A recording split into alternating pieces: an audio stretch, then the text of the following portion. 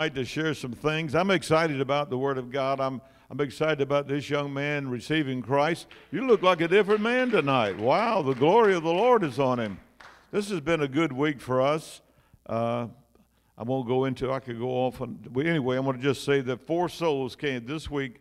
Uh, came into the kingdom of God. Amen. Four souls, and uh, I just have to share this. This this one man uh, that received Christ, him and me grew up together. I met him when I was 12 years old, and we went into Air Force together. But the Lord had been placing him on my spirit for the last two years to find him. I didn't know where he was at.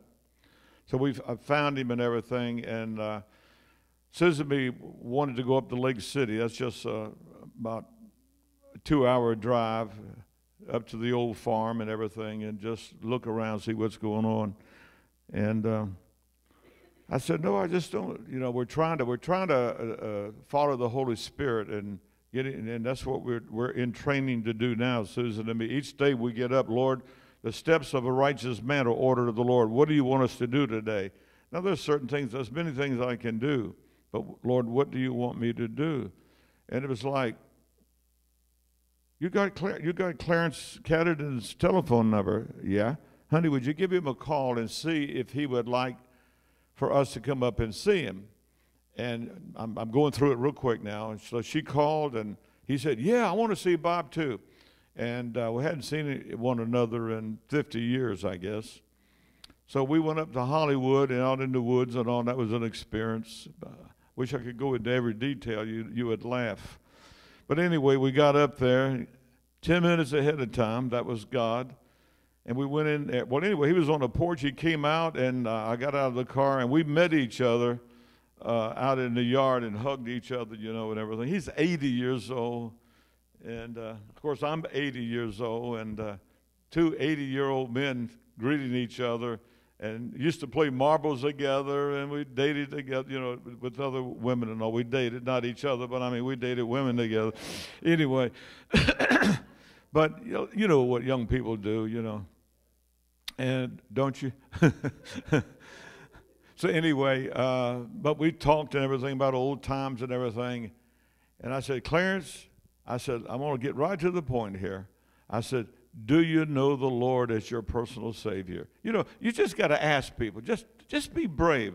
Do you know the Lord as your personal Savior? You know, and uh, he said, Well, I believe in him. And I said, Well, let me tell you what the gospel is all about. So I shared the gospel with him. And I said, Clarence, would you like to receive him as your Savior? And he said, Yes. Oh, what a moment that was. I took his hands and I led him through the sinner's prayer. He accepted Christ as his Savior and everything. So I'm doing this, and Susan's over there on the couch with his wife. And she's leading, leading her to the Lord over there. And so there two souls came into the kingdom uh, yesterday. And that's and all of y'all have a part in that. That's why I'm sharing. I'm when I share something, I'm I'm not saying, look at me, yippee dippy do. No. I, how many's past that? I am so far past that garbage, I don't even want to talk about it. But I want to know what is the Lord doing? I'm excited about um, um, Mrs. James there. The word she got was, the Lord is the keeper of my soul. Now, I don't know what that does to you guys, but it's done something for her and it's done something for me, and that has stuck with me all week. When I think about it, I almost get that's the air conditioner blowing on me, but I get chills. I mean, I get it's like the Lord is the keeper of my soul. Anyway, you'll just, you know. I'm the leader. I'm trying to lead you guys onto higher ground. Oh, that's exciting, isn't it? Okay, okay. Got one there. Anybody else want to clap? Can you imagine the angels in heaven? What were they doing when those two souls were saved yesterday? Man, they was all excited, going to tell everybody that Jesus Christ is Lord. Blow the trumpet up there. Blow the trumpet in Zion. Go ahead. Let's hear the trumpet. Go ahead. Let's hear the trumpet up there. Uh, we got to work at that, Frank. Let, give it to Willie. He knows how to blow it. Look at Willie. Oh, my goodness. What are we coming to church for? To glorify the Lord. And we're going out from this place to, to win people to Christ, to tell people the good news. Good news. My goodness. I pulled out my wallet. I got a $100 bill. Now, watch y'all get excited. Look, look, look, look at this. Look at the, look at the smiles on y'all's face. Look, look at this. Yeah, here, let's see what I got here. I don't have a dollar. Now, watch y'all get excited now. Look at that, a hundred dollar bill right there. Look, look, look, look. I mean, look, look at Charles back there. He's doing the double step. Get him on the camera, man. Oh, look at. Look at his wife. Hey, it's flying to y'all. I shouldn't tease y'all that way. But it's, it, it look, ah, yeah. Somebody was one to the, uh, the Lord today. I got a hundred dollars I want to give somebody. Hey! Shame on me. But it, it, true. I mean, you're getting excited about, I mean, the hundred dollars. Yeah. Just think, two souls that won't have to spend eternity in hell because, because you all are faithful, faithful. All right, we're talking about ruling and reigning in Christ. The first scripture is uh, on the board. And uh, let's turn to Genesis chapter 1, verse 27. Remember, the first initial command that God gave man was what? Somebody tell me. To take authority, take dominion, rule. Here's the earth. Now go out and rule, multiply. Everything's uh, under your control. Rule. All right. And we said they didn't rule and reign. And what happened? They give the devil place, didn't kick him out, didn't rebuke him, didn't take authority over him, and they give into his temptation, and it has caused a ripple effect right on down to all of us.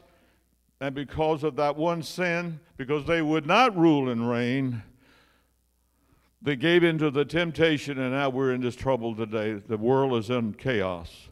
Boy, if you've been following the Middle East, all right, let's read it. So God created man in his own image. In the image of God created he him. Male and female created he them. Next verse. And God blessed them.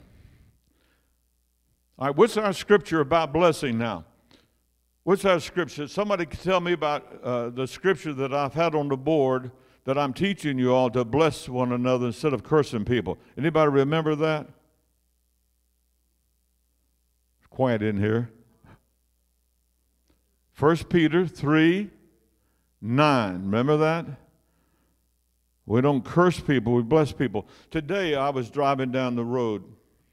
We, we, come, we had to go downtown and we were coming back, Susan and me. And this man, I want you to catch this. This man had the nerve to come right around in front of me, just like that. And if I didn't put my brake on, I'd have hit him. And I looked at Susan and I said, What should I do? And she said, Bless him. See, I knew that I knew, but I was checking her out. So I blessed the man. How many has ever had that experience? Somebody pull in front of Did you bless them? After you curse them, right? You curse them first and then you bless them? Okay. But see, you have to, we, we, we, we develop these habits See, we have to be alert and alive, get our mind under our control. Even here tonight, I'll guarantee you, some of your minds are probably in Texas, Louisiana. Louisiana? Where's your mind tonight? Rick, where's your mind tonight? Eric, I, thank you for what you're doing back there, but get it off the air condition. It'll still be there after this meeting, okay? Come on in, young lady. And I got all your mind on her. But here, even tonight, can you rule over your mind for, for about 30 minutes and not let the devil cause you to think about that fried chicken or that piece of pie you didn't eat tonight or that ice cream in the refrigerator? Get this over with real quick. I'm hungry myself. I, will tell you, I, I'll see you all later, okay? Is that not true? Huh? How many times you've said here, how many believes the devil comes to church? Everybody believes that. How many times have you tried to worship the Lord and your mind goes on something else? Probably criticizing the, the song. Well, I don't like that song. Anybody ever do that besides me? Look at that. Yeah. That, that human part of us just pops up. You just have to take authority and dominion over that and say, Shut up! How many this week have had a big hard time trying to keep your mind on that which is good and honest and noble and upright? How many's had a hard time trying to keep your mind on the good things of life? Let see hands. Yeah, we all have. Huh? Huh? The enemy don't give up, and we can't give up. But remember, we got the victory, but we don't have to let him run shotgun over us. We are to take dominion, all right? What does it say? And God blessed them. Remember, we are here to bless people. Bless, bless. Charles, catch it. Bless. Good. Rachel, here's one for you. Where's Willie? Wait a minute. Here goes. I'll do it. I'll get it up there. Yow! Got it. Frank, here's one for you. Yow!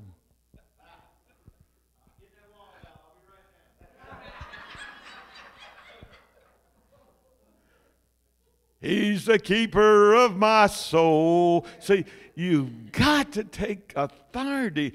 First, you got to you got to master this right up here. How many know I'm talking to Bob Tilton too?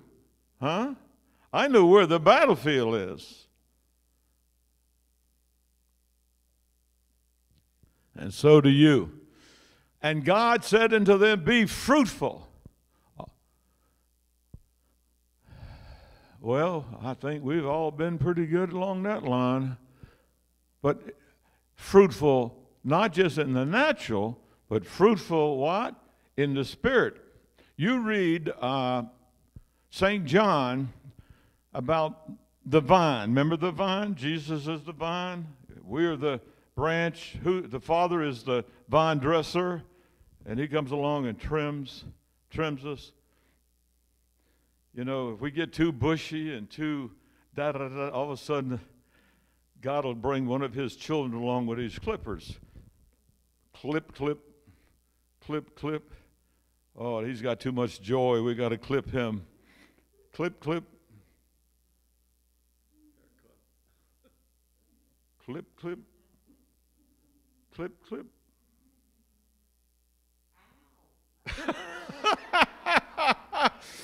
oh, we were doing so good. I was so proud of that one little fig that was coming out of my on my little branch, and all of a sudden, oh my goodness. But why does he do that? Because we can bear more fruit and grow. Wow. All right. So be fruitful and multiply and replenish the earth and subdue it. What does subdue mean? Hmm? Conquer it, control it, conquer it, subdue it. And have dominion over the fish of the sea and over the fowls of the air and over every living thing that moves upon the earth. Now, that was the command that God gave Adam and Eve. Next. And God said, Behold, I have given you every herb bearing seed which is upon the face of all the earth, and every tree in, the, uh, in which is the fruit of a tree, yielding seed. To you it shall be for meat. Next and to every beast of the earth, and to every fowl of the air, and to everything that creepeth upon the earth, wherein there is life, I have given every green herb for meat, and it was so. Next. And God saw everything that he had made, and behold, it was very good.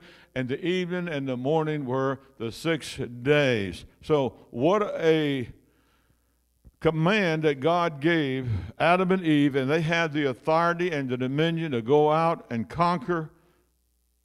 And the first thing comes along is this creature looked like a snake to me, and his name was Satan.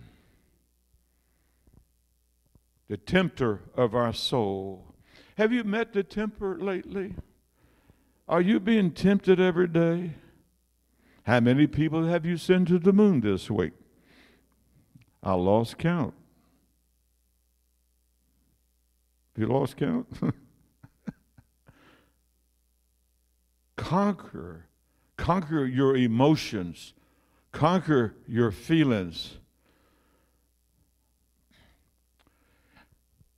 And then you discover something. I can't conquer anything. Then you make a discovery in the Word of God. Philippians 1 6 on the board, please.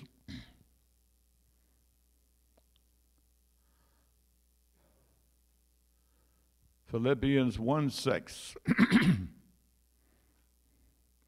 Being confident of this very thing, that he which has begun a good work in you, say, a good work in me.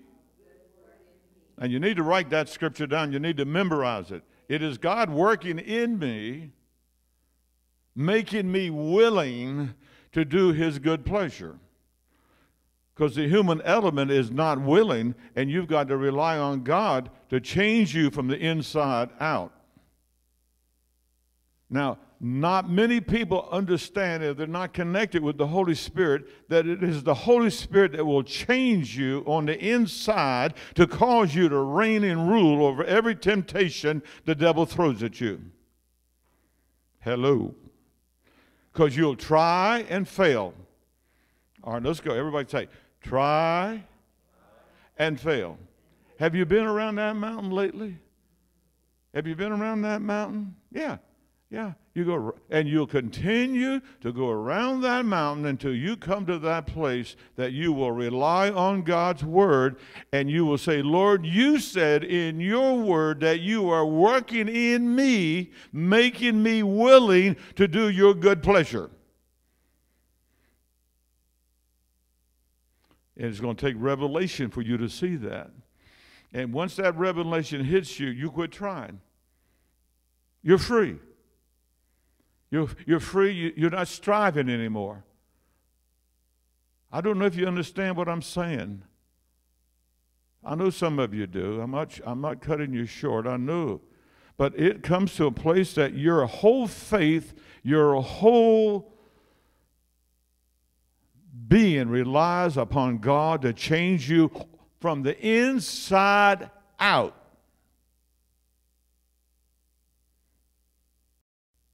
You know, you look at somebody, they do everything right. That's good.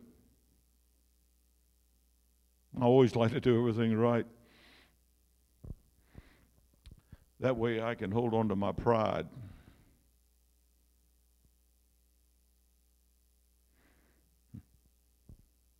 I look good to everybody. What's going on the inside?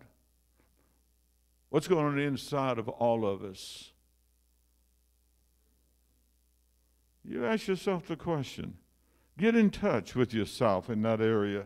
Lord, what are you doing? What have I asked you to do? You said, Lord, you would continue that work until when? The coming of the Lord being confident of this very thing that he, which is God Almighty, which has begun a good work in you, will perform it until the day of Jesus Christ, until the rapture. Now, what is God doing in you? Now, don't everybody step up at one time and share, one at a time. What is God doing in you, making you willing to do His good will? You mean we got to think when we come to church?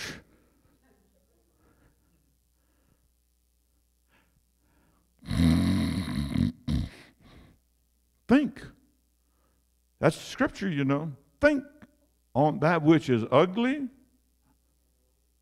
which is double ugly, mean. Think on what? What? Think on what? Think on what? Can you all hear me? Everybody hear me plainly? Okay. I'm challenging you. Think on what? You know the scriptures. Hear me hear it. Think on that which is good, honest, noble, upright, pure. All right? Are we having fun tonight? Isn't this exciting? See, this is how Susan and me go into the Word of God now. Susan, boy, do I really give her a hard time. It's awful. But she gives me a hard time. See, she sharpens me and I sharpen her. Are we doing that, Daddy? Are we thinking on that which is good? Are we thinking on God? Or are we thinking about somebody else ain't doing what they're supposed to do? Say, you got to guard your heart with all diligence. All right, if you're going to reign and rule in heart, you're going to have to turn to Proverbs chapter 4, verse 23. Let's start with 20. If you're going to rule and reign, listen, let me tell you something. If you don't understand what I'm saying here tonight, your whole life will be a shipwreck. We all have to line up with these principles. Your pastor, these elders, these elders' wives, these teachers, every one of us. And I say that with gentleness. Did I say that with gentleness? Pretty gentle. Did I, did I say that? How many know I love you? Man, do I love you. I got the job to perfect you guys for the work of the ministry. How many's hearing what I'm saying? Raise your hand. All right, that was a big job, wasn't it? I shouldn't. I shouldn't ask you to do that. Raise it again. Let me see it. That's good. You're, I just want to know if you're awake. All right, my son, my daughters, attend to my words. Incline thine ear unto my sayings. Wow. Now, I'll ask a question why?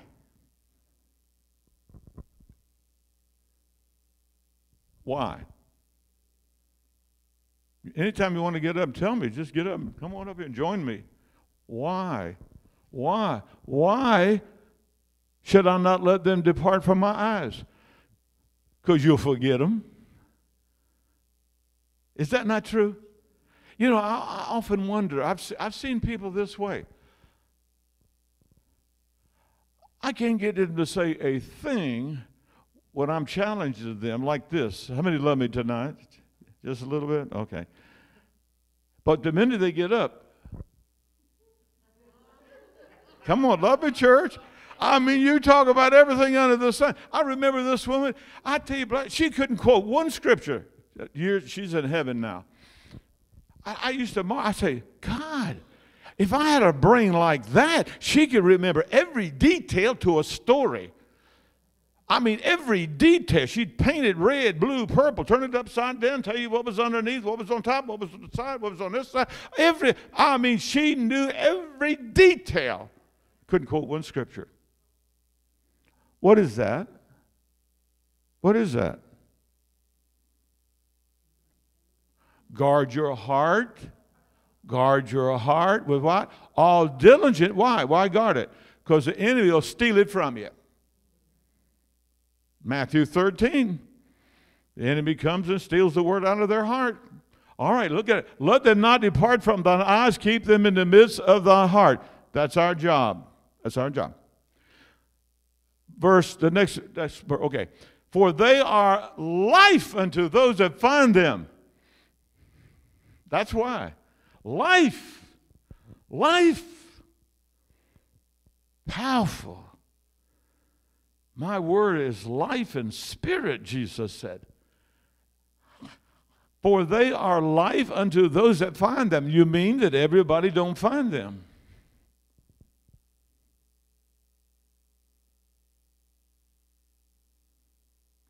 Let me tell you when you find them. Andy, I'm picking on you. We're friends, aren't we? Brothers and sisters. You challenge me and I challenge you. She came excited Sunday. The Lord is the keeper of my soul. Now that don't do nothing for you. But Andy was doing the jitterbug. that the life came into her. The creator of, of heaven and earth the creator that holds everything together with the word of his power, is the keeper of my soul. Wow. See, that became Rhema to her. Then she hit me with it, and it became Rhema to me. What was I thinking about? What was I remembering this week? The Lord is the keeper of my soul. Devil. How many understand what I'm saying? See, how many know I'm pressing? I don't know how much more time I got with you, but I tell you, I got some things I got to make sure that every one of you know. And you're going to have to put out effort and obey the Word of God. Listen to this. And I'm not fussing, but I know one thing if you don't, you'll be back there in my office wanting counseling. And that's all right, we'll counsel you.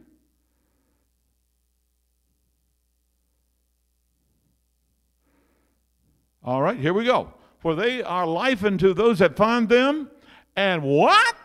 And health to all their flesh. How much money do we spend on trying to stay healthy? Including your pastor. Is that not true? The insurance is going up. Up, up. My insurance on my house went up. What do I have insurance on my house? Paul didn't have any insurance on his house. Why do I have insurance for myself? Paul didn't have any on him. And he's in heaven. We just want to stay down here a little longer, right? And be miserable. When we could die, just go to heaven and enjoy everything up there. We'll be, I can see us all up there now jumping and jiving around that great cloud of witnessing. Don't buy your insurance. You're just stalling your time to stay down in that mud. Uh, just don't, don't, don't just die. And come on up here with us. We having a big time. Because I know I can't put that DVD out, but anyway, it would shock the religious world. I know you're not there yet. Okay. For they are life unto those that find them and health to all their what? Flesh. I got a big testimony I'm going to be sharing pretty soon about health. Keep thy head, don't let them cut it off and send you to what's that? Heaven. Oh, I'm, uh, keep thy heart with all diligence, for out of it are the issues of life. Let me help you with that one. It took years for me to understand that when God gave me the revelation. Charles really helped me on this. Can I share about what you said about the purse? I don't want to get you in trouble. Rachel back there smiling at me. See, Rachel goes to buy, uh, to Bi-Lo and Walmart, and her pocketbook is open. And so I come by and I look, oh, a thousand dollar bill. Put it in my pocket. And she's looking at how much this costs on this cereal. Uh, that's too expensive. Put that back. Uh, too many milligrams in that. And her pocket is open. The next guy comes along, takes another thousand out. And of course, Charles don't know this yet. So what I'm saying is you have to guard your heart and make sure the devil doesn't steal the Word of God out of your pocketbook. How many of you understand what I said? I brought it down to street language. When I said pocketbook, that meant your heart. You know that. Now, your pocketbook is open, and I have this chewing gum in my mouth, and I, got, I thought, looking for somewhere to put it and I'm walking along, and oh, there's uh, Rachel's pocketbook again. Throw my bubble gum in there. She goes home. Charles! Yes. Did you put this bubble gum in my pocketbook? No, you know I don't chew bubble gum. I dip snuff. Hey, that's a good one. Let's just change it to snuff. Hey, the pocketbook's over. many's ever, how many's ever seen people dip snuff? Huh? Let me see. Mary, you, you dip snuff? Oh, you've seen people do it. Yeah. The old timers used to do it. You know, how about this? Hit the stove. All right. Something's going on over there. But you get the point. We have to watch out what we allow to come into our hearts, but we also have to guard our heart and make sure the devil don't steal out of our heart. Like our joy. The joy of the Lord is our strength. Someone says, I don't have any strength. Do you have any joy? You've allowed the devil to steal your joy. Here's how it works everything's fine. You're happy. Everybody in the fellowship is doing great. The phone rings. Susan answers the phone, and I'm over there. Oh, the joy of the Lord is my strength. The joy of the Lord is my strength. The joy of the Lord is my strength. Susan's on the phone. Okay, Willie, back in the hospital.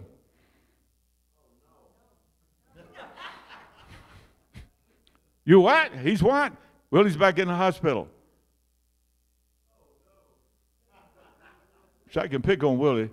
And what happened to my joy? The joy of the Lord was my strength. the joy of the Lord was my strength. Now, I say that, now listen, I say that because many times our joy depends on the circumstance and how well all the kids are doing and all your bills are paid. I love it, don't you? You know, and you got money in your pocket, but it ain't always going to be that way. What if it ain't like that? Do you still have the joy? And if you don't, then your joy is on circumstances. And if the church, the turkey stances, I mean the church, excuse me, the circuit. That's pretty good. Turkey. See, I got turkey on my mind. I think Susan got some turkey in the refrigerator. That's what it is. Okay. But see, our joy is is it's on the circumstance. Everything is going well, so I got the joy, I got the joy. And something happens, what happens? Something happens to the circumstance and it turns upside down and you didn't get the raise. You thought something, the boss was going to give you a $1,000 raise and it was the other way around. They paid you a $1,000 too much uh, three weeks ago. Now you got to pay it back and you done spent it. That's what happened to our Social Security check last uh, last month. They wrote a, they, I got a, a, a, little letter from the Social Security, and, and they said uh, it was on Susan's Social Security, and uh, we've uh, overpaid you $450. So the next time uh, in, in August, that's yeah, this coming month, uh, the only amount of money will be in there will be 150. So you're going to pay us that money back because we're not going to give you that money. We're going to keep it, and uh, because we overpaid you, so you, there'll only be 150 dollars in there.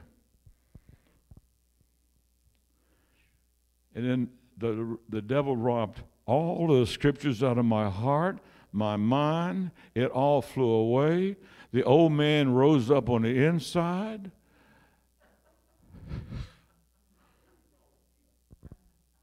And I just cursed those people out good and proper. They ain't messing with my money. Who do they think they are? I'll call my congressman. Come on now, church. Come on now. I'm, is that not the way we are? Huh? Is that the way we are? Yeah. But see, we're changing that. We're changing. What do we do now? First Peter 3 9. We render evil for evil. Huh? Did I get that? We render what? We render what? Good for evil. So, what did I do? I read that. I said, Hallelujah, glory to the Lord. And Susan said, Hallelujah, glory to the Lord. I said, all together now.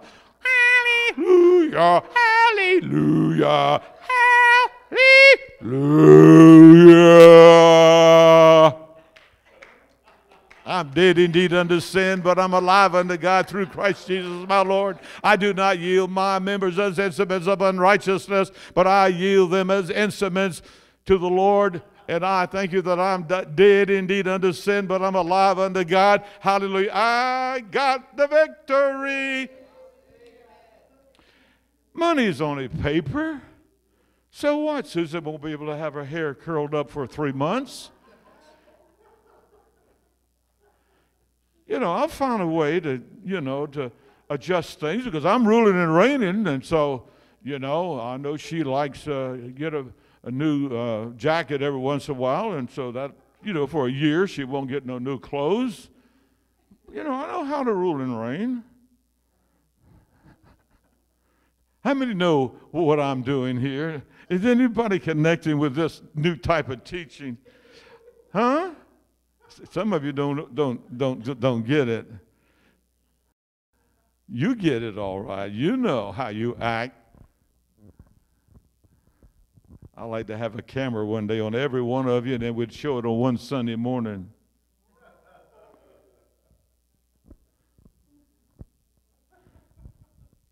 Now, Brother Bob, tell us the truth. How did you get that lump on your head? This frying pan came across the living room. Don't read the book I'm preaching, okay? Am I hitting anybody? Am I hitting anybody tonight? Am I hitting you? Am I hitting you tonight with this message? Please tell me now. Am I hitting you? Annie, anywhere? Yeah. I'm hitting myself too.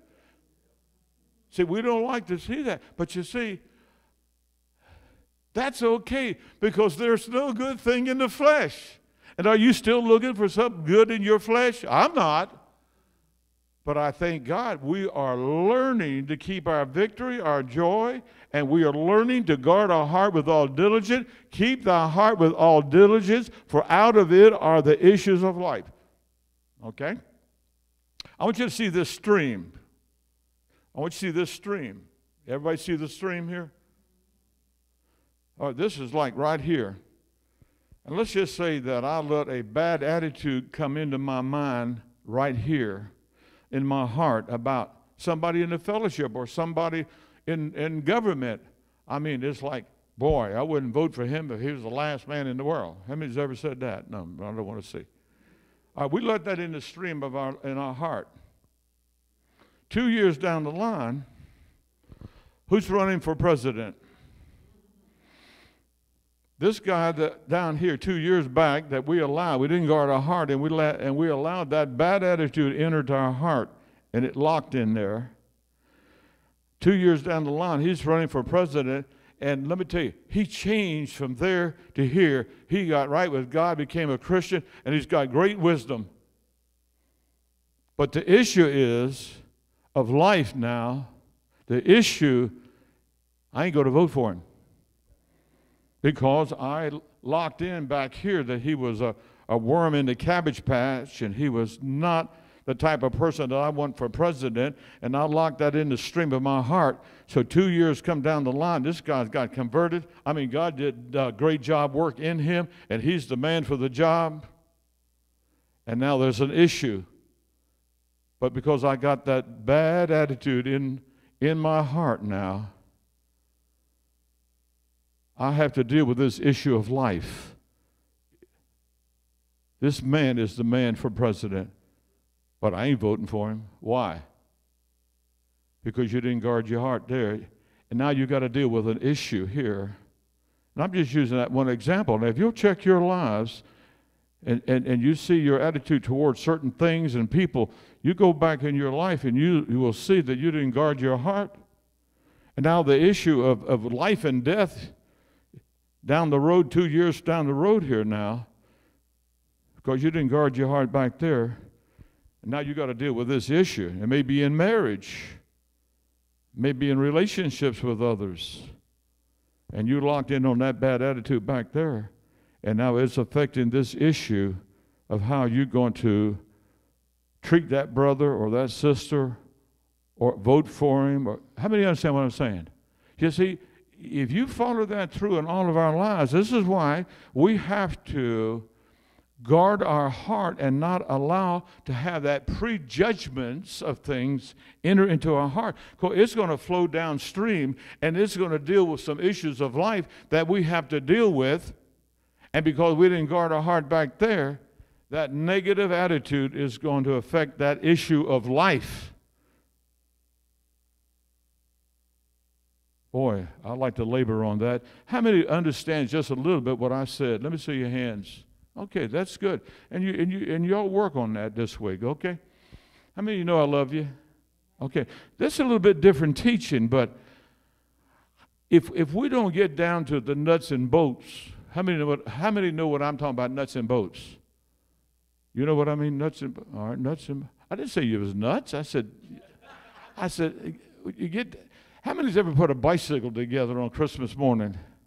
Because you didn't read the manual, you threw it over in the corner. And the handlebars is on the back. You know, the wrong nut on this. How many, some of you can identify that. See, if I don't bring it down to where people can identify, they won't know what I'm talking about. We have to bring when you teach when you teach your kids, you've got to bring it down where they can understand it.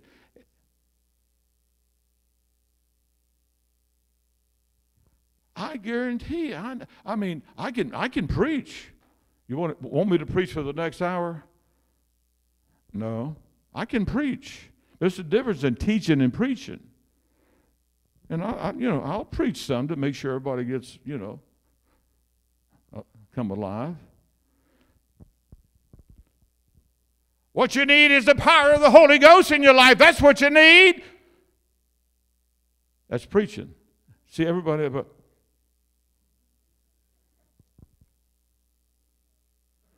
The power, the power, the power. That's what you need. The power of God. The power is not of the flesh, but it's of God. You need it in your life, son. Young man, you need it in your life. You'll be young again. That's preaching. And that's good because it, it just drives right into you, doesn't it? You know what I mean? Wow, that's good preaching, Brother Bob. And that's true. That's what we need the power of the Holy Ghost. I'm going to start preaching on the baptism of the Holy Spirit pretty soon. I said, Preach it now. Okay, preach it. Preach it, Bob. But we're getting down to the nuts and bolts. How does it work? Where does this nut go? Where does this bolt go? The handlebars don't go there, they go up in front. See? So we have to learn all these things. Now listen to the word of God. Keep thy heart. Whose responsibility is it to keep your heart? Everybody point to the person. Good. All right? Good, do it. because the enemy will steal it away from you. And we're not ignorant of his tactics. We're not ignorant of his way of doing either. So keep thy heart with all diligence, for out of it, what is it? For out of it, what is it? Hmm? What is it? Heart it is heart there. For out of it, the very core, the very heart of our being, not the heart that, that pumps blood. It's good to keep that heart too in good shape, you know? But out of the very core of our being, the very essence of what we are, for out of it flows the issues of life. For out of it are the issues of life. Got five more minutes. Put um, 1 John 1 8 verse.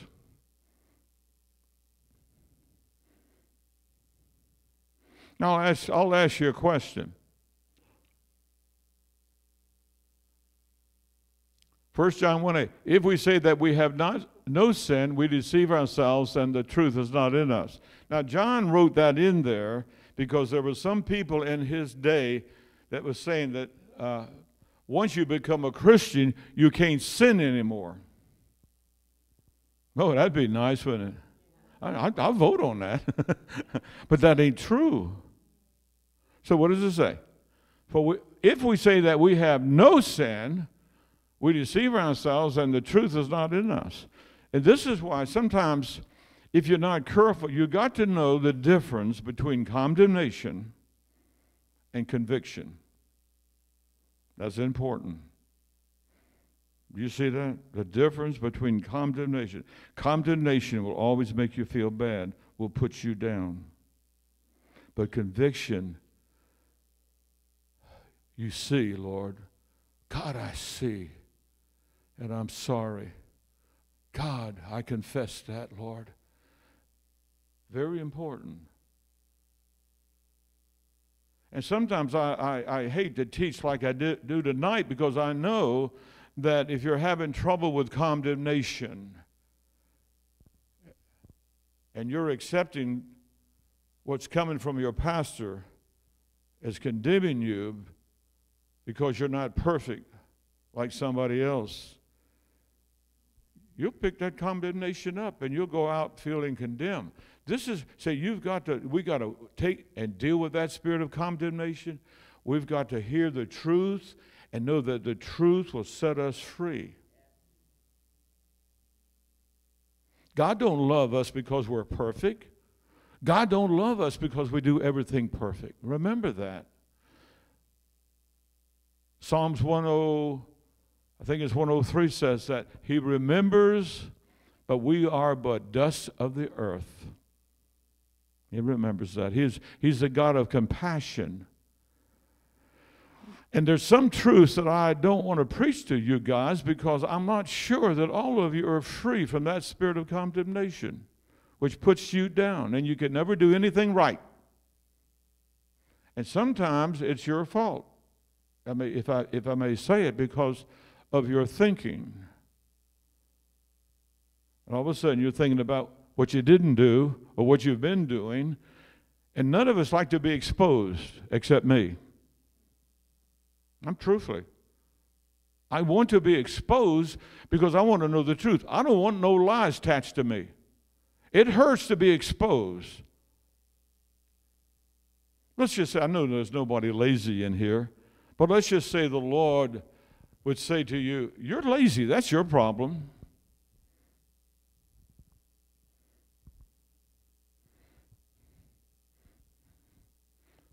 Now, acknowledge it. Are you or are you not?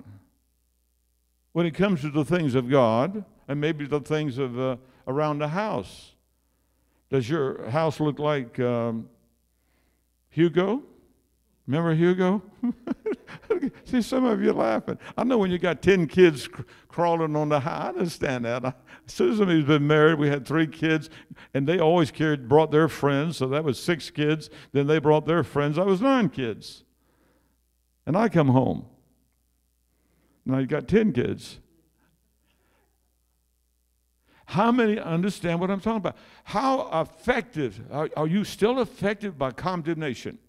Be honest. Be honest. God knows it. Rachel, let's, let's hear you. You feel like you're pretty clear from it? You think so? Good. Okay, we'll see. I'll check you out on that. Yolanda, how we doing? You, you feel like you're majority, from 1 to 10, free from condemnation? Huh? Nine. Okay. Okay, make sure you read that up here now. Missy? Just be honest. Now, God knows. Huh? F- from 1 to 9. What did he say? What should he say? Uh, 11 and a half. What did you say? Seven and a half. Okay, that's honest. That's not, all right. Now come up against now you now see now that's something you come up against. You know. Yeah. Yeah. Yeah. Yeah. I, I sometimes I, I don't know if I'm free from any of it because I go home and beat myself up every Sunday. So y'all think I'm perfect. Yeah. But see, so but you know now here's here's the, if you don't recognize it, you wonder why do you feel down? Why do you feel bad? See, I'm trying to help the people of God. I suffer all of these pains that you do. Rick, From 1 to 10? 7? Okay. From 1 to 10. What'd she say? Did you hear her? What was it? Huh? No, there wasn't a number. I still didn't hear It wasn't. I don't have my hearing Was it a number? I said with my family, some of my family, I feel condemnation. No. Say that again? With my family, I feel condemnation. And why do you do that? Because I'm going to tell you something. Two, two reasons why uh, condemnation will manifest. One is it's the enemy. He loves to put God's children down. Nothing you've done. You can be perfect. He'll put you down. And this is where it's so important that we learn what I'm talking about.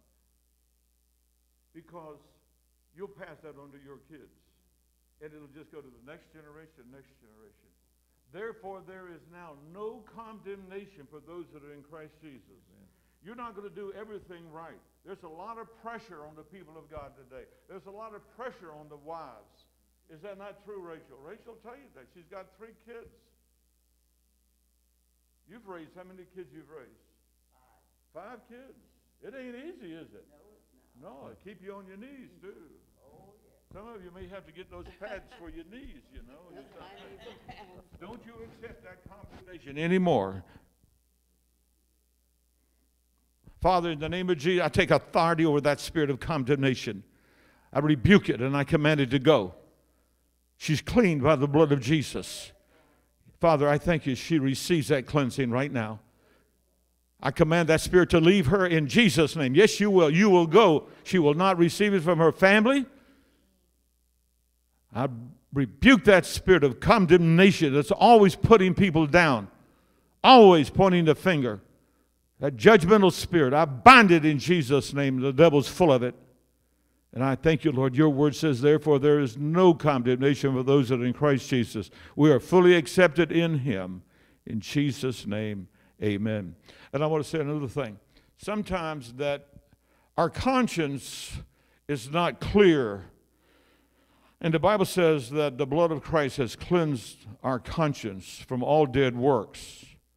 And sometimes, if we're not careful, we'll work ourselves to death trying to please people to get them to accept us to re- and we, we, we think that that will relieve some of that condemnation off of us but i'm telling you right now you'll never please the devil and if you are a perfectionist and i'm being honest and i love everybody in this place plus myself believe it or not that spirit of perfection will drive you nuts because you can never do anything good enough Am I speaking truth in this place tonight? All right. Now you're free from it. And don't you receive it no more. Now, guard your heart with all diligence. For out of it are the issues of life. And see, by receiving that condemnation, it affects you in the, in the issues of life that you have to make because that condemnation is beating you down. And then as you move along with, with uh, decisions that you have to make uh, uh, in your uh, marriage, in your family, that condemnation will poison you in such a way that you will not, you will act cowardly, you will not be honest, it'll just mess you up.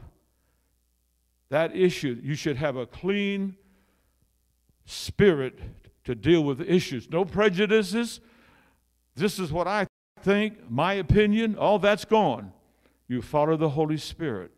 But as long as that condemnation is on you, you can't, you can't hardly do anything right, and you walk around miserable. Say, I'm free. I'm free from all condemnation. Now, a lot of times we put that on ourselves, okay? By our thinking. That wasn't good enough. It's never good enough, is it, Rick? Never. I'll come along, I say, Wow, that's a good job, Rick. And Rick looks at it, he like this. Well, what, what? What's wrong with it? Nothing. Nothing. But he allows sometimes that spirit of perfection to beat him down. Is that right, Missy? hey, we love you anyway. I hope you love me. This is what you see. See, we got to get honest with one another. In fact, the Bible says, confess your faults one to another. Are we there yet? I want to let's move on into spirituality. Overcome what? Evil with what? Somebody tell me. Overcome evil with what? Good. How many people you know that knows that verse? Put it on the board and we're going to go home. I can't believe it's 25 to 9. I'm going to let you go now. Ain't I good, man? I tell you. God bless you. And don't go out with condemnation. Meditate on what we studied tonight. What you got, Yolanda?